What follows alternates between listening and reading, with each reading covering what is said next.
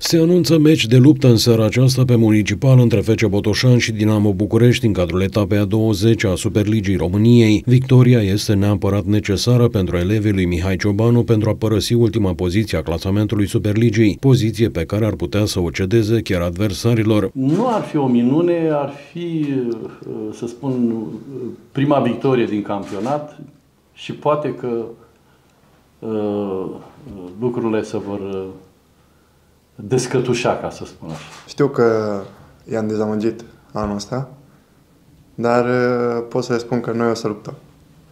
Adică nu o să renunțăm, o să luptăm până la ultima șansă pe care o avem și sper ca cu acest meci să, să ieșim, să facem un mic pas spre direcția bună și să mai aibă încă o dată încredere în noi. Lovitura de începere la meciul din această seară va fi dată de David Mario, unul dintre jucătorii reprezentativi ai Academiei FC Botoșani.